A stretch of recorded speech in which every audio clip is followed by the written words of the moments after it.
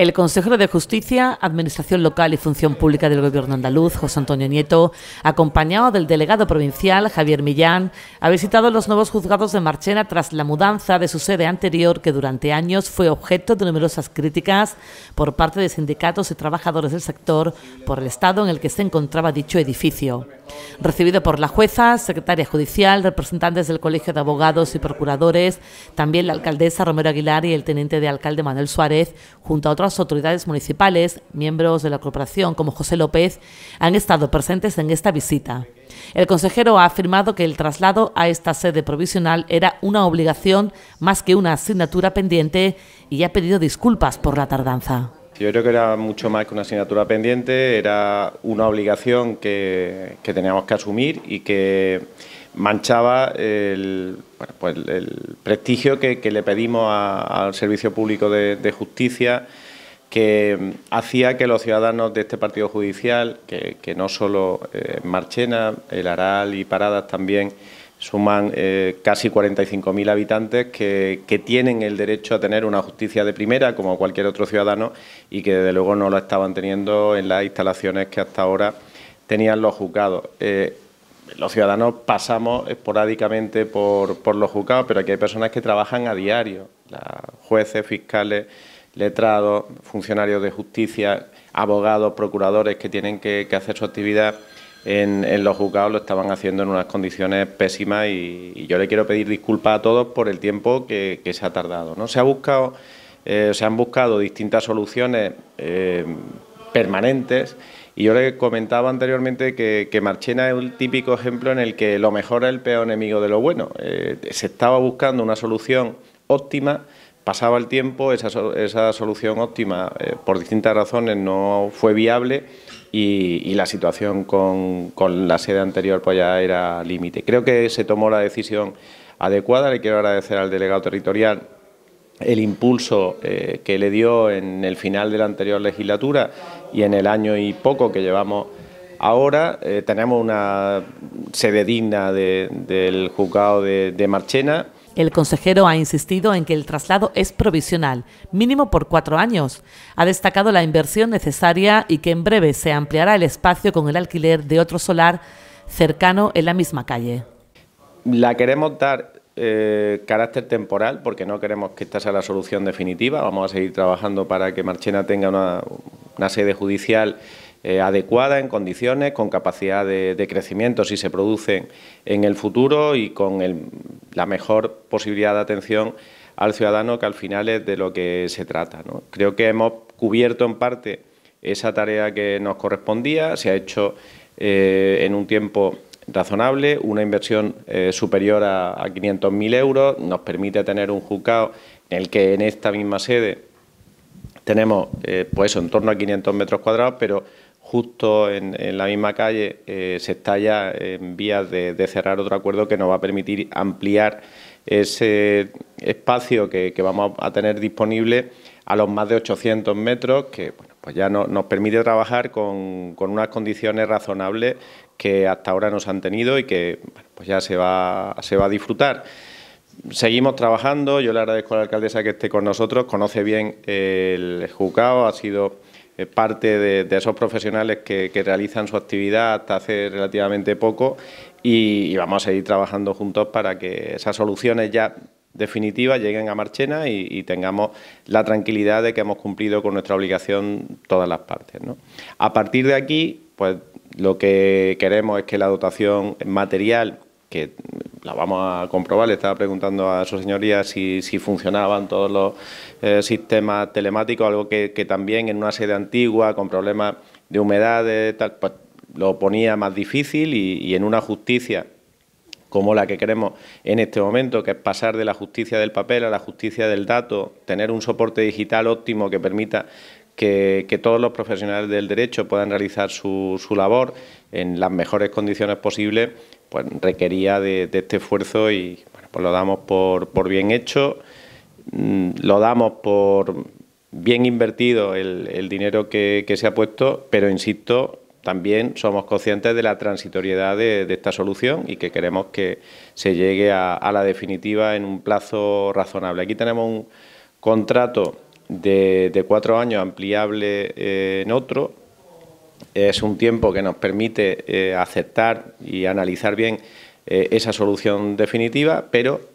insisto, no puede ser, no debe ser esta la, solución donde nos paremos, porque pues hay carencias que, también somos conscientes que se tienen. Nosotros buscamos que cualquier posibilidad de ampliación en el número de órganos judiciales tenga cabida en la sede judicial. Queremos eh, la mayor accesibilidad y que cualquier ciudadano pueda acceder a, los espacios públicos, que cualquier trabajador que puede tener también algún problema con alguna discapacidad pueda tener eh, habilitado y adaptado su puesto de trabajo y eso todavía eh, pues tenemos que mejorar. Nieto ha explicado que la Junta está trabajando en un ambicioso nuevo plan de infraestructuras judiciales para mejorar todas las existentes en Andalucía y especialmente ha destacado la ampliación del presupuesto destinado a ello. Con respecto a lo que ocurrirá con la sede judicial antigua, el consejero está abierto a posibles negociaciones con el ayuntamiento y muestra su intención de poner a la venta esos edificios que están cerrando para abrir sedes judiciales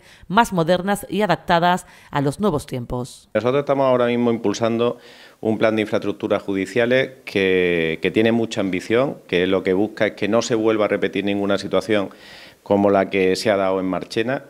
que tenemos también la convicción de que para poder eh, abordar un plan de infraestructuras judiciales que mejore todas las sedes judiciales de todos los partidos eh, judiciales de Andalucía, tenemos 85, algunos de ellos en unas condiciones eh,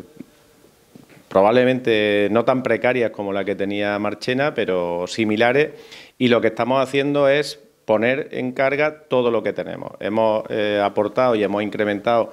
eh, en, más de un 500% eh, la partida destinada a inversiones en sedes judiciales respecto a ejercicios anteriores, o lo que es lo mismo, casi lo multiplicamos por seis. Hemos abierto la vía a poner en marcha eh,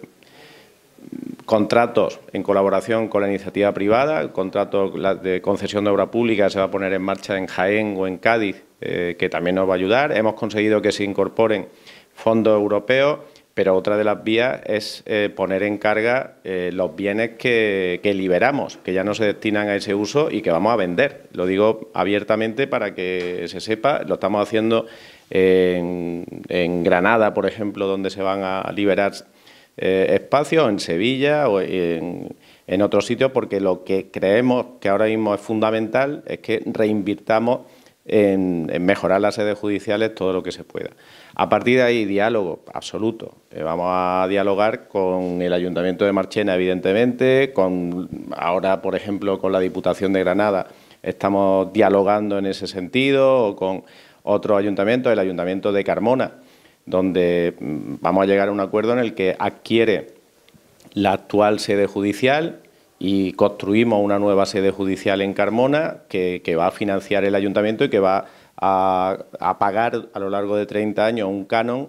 eh, la Junta de Andalucía. O sea que hay muchas fórmulas y el único objetivo es que la justicia tenga las sedes que, necesita, que tenga las sedes que los ciudadanos demandan y tenga las sedes donde los profesionales del derecho puedan trabajar en las mejores condiciones. La primera edil, Romero Aguilar, agradeció la visita al consejero y manifestó que desde el consistorio se ha hecho siempre lo posible por facilitar los trámites de este traslado que finalmente ya es una realidad. Bueno, lo primero agradecerle la visita a, Marchena y al órgano judicial, a la sede judicial, que como bien ha dicho él, pues evidentemente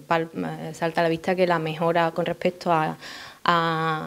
las instalaciones y a la seguridad, salubridad en el trabajo de sus trabajadores que a diario pues lo ocupan eh, y aunque sea temporal, como bien ha remarcado, pues es evidente que, esa mejora existe. También tenéis los antecedentes que y el delegado conmigo ha tenido reuniones desde que estamos los dos en los cargos que ostentamos, pues desde hace años, eh, donde el ayuntamiento siempre ha mostrado toda la colaboración también para dar esa solución temporal.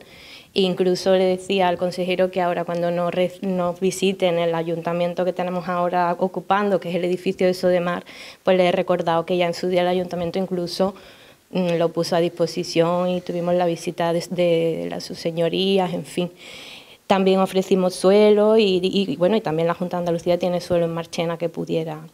Y bueno, como él ha dicho, llevamos años intentando soluciones. Me consta que ya la Junta de Andalucía en su día hizo una licitación pública que quedó desierta, es decir, que nunca se ha dejado de trabajar en este problema. Y bueno, el ayuntamiento, pues incluso en esta adaptación y en este edificio, cuando entró en el registro municipal la licencia de obra y todo lo que tiene que ver con los trámites urbanísticos, le ha dado absoluta prioridad pues por eso, porque es necesario y, la colaboración institucional la, la, la tienes, la tendrá y la, tendré, la tendrán siempre, porque es necesario. Y nada, bueno, todavía falta mejorar y falta completar con el edificio de enfrente, tengo entendido que es falta una segunda fase de esta fase temporal de alquilar el edificio de enfrente para lo que son las cocheras de conducciones, despachos de procuradores y abogados para atender a, sus clientes, todo eso está ahí en, en carga, creo que pronto van a presentar la licencia y aquí tendrán al ayuntamiento para ayudar. Además, la alcaldesa afirmó que en visita posterior que Nieto ha realizado también al edificio de Sodemar, donde ha firmado en el libro de honor donde había más autoridades municipales, se daría traslado de que el consistorio ha solicitado la cesión del antiguo edificio para uso municipal a cambio de su mantenimiento. El antiguo edificio, el que se ha quedado ahora vacío, y en, las muchas conversaciones que llevamos teniendo hace años, el delegado, incluso el director general de infraestructura anterior, era que una vez que se trasladara el juzgado aquí, ese edificio el ayuntamiento iba a pedir la cesión. Ese edificio además necesita una gran inversión porque sabéis que está, eh, en fin, que, necesita una gran inversión en obra. Y el, ayuntamiento lo ha pedido, lo ha pedido en cesión temporal al máximo legal, y el ayuntamiento a cambio pues lo mantendrá, lo pondrá en uso actividades municipales y eso es lo que se quedó en su día. Me imagino que el consejero y su equipo tendrá que valorar si eso es viable o no y tendrá que valorar si quiere rehabilitar ese edificio para, para volver allí o quiere construir uno nuevo, eso corresponde a ello. Yo lo que me interesa es trasladarle al consejero mi, mi mayor lealtad, mi mayor capacidad de colaboración y poco más. Y que, y que Marchena esté en la mesa del consejero como prioridad. Eso es lo que interesa a la alcaldesa y a, su, y a sus marcheneros y marchenos, bueno, y a todo el partido judicial. En otro orden de cosas, el consejero ha manifestado que el Boja de hoy recoge la publicación de la orden de módulo y base que regula lo que perciben los abogados en sus turnos de oficio, que se actualiza por primera vez, destaca el consejero, desde el año 2009, llegando este incremento al 20%, se añade. Hoy se publica en el Boja la orden de módulo y base de, que regula eh, lo que perciben los abogados por su participación en el turno de oficio y por hacer posible que los ciudadanos tengan derecho a la justicia gratuita. Eh, ¿Por qué quiero destacarlo y por qué quiero mm, llamarle la atención sobre este tema? Pues porque es la primera vez que se actualiza desde el año 2009. Llevábamos desde el año 2009 congelándole a, los abogados, a las abogadas, a los procuradores, las procuradoras, eh, sus percepciones eh, en razón de su participación en el turno de oficio, cumpliendo con una parte de, esa vocación de servicio que tienen los abogados, con, hacer viable un servicio público como este, pero en unas condiciones muy precarias, que desde luego no me parece que, fueran justas. El año pasado se actualizó o se incrementó en un 4% eh, esas percepciones a través de una enmienda en el presupuesto, pero no haciéndolo por la vía reglamentaria, que era la, actualización de esa orden, y esta vez, este año, desde el acuerdo, desde el diálogo con todos los colegios de abogados de Andalucía y con el CADECA, con, el Consejo de Colegios de Abogados, pues se ha conseguido hacer eh, un esfuerzo muy importante. Un esfuerzo que supone que el año pasado se aprobó eh, la orden del turno de guardias, que ha supuesto un incremento de más del 30% de las percepciones que se recibían por guardia, que ha supuesto, entre otras cosas, un bloqueo eh, específico de 7.500 guardias para violencia de género, que nos parecía eh, importante que, quedase a salvo y que hubiese una garantía de que se atendía a las víctimas de violencia de género. Y ahora, este año, eh, se consigue esa actualización de los módulos que perciben por el turno de oficio, que va a suponer una subida cercana al 20%. Es decir, entre los dos conceptos que componen el turno de guardia, que hacen viable el acceso a la justicia gratuita para los abogados